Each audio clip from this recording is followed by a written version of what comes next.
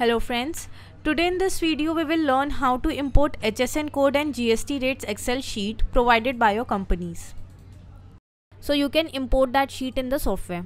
Like this is a sample sheet of a company where they have given us all their products name, the category of the product, their respective GST rate and their respective HSN code. So let's import this sheet in Marg software. So for that we will go on masters ease of GST adoption and enter on import HSN code and tax percentage. Then we will browse that company sheet, click on it and click on select. The first field is record from to means the data in the sheet is starting from the second line. Then the software is asking the item name is there in which column of that sheet. These are the items name which are on the B column. So we will define here B. Then the software is asking in which column is the HSN code.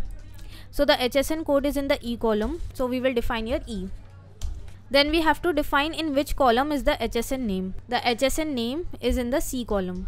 So we will define here C.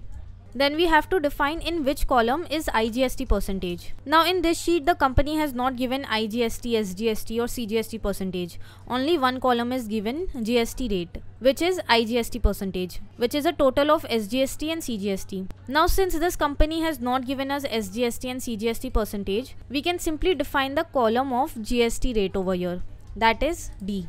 So software will automatically divide this into SGST and CGST. So we can leave these blank. Next is update item tax master. If you only want to import HSN code from this company sheet, so you will set this to no. So only HSN code will be imported on your items. The tax percentage on those items will remain as it is. But if according to the sheet you want to import GST tax also on items, then you will set this to yes.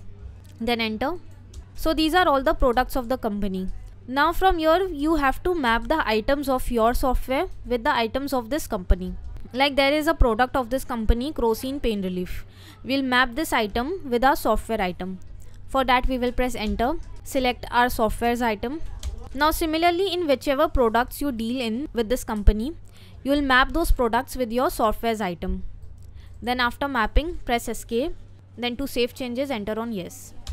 So friends, in this way we learned how to import HSN code and GST rates Excel sheet provided by your companies. Thanks for watching.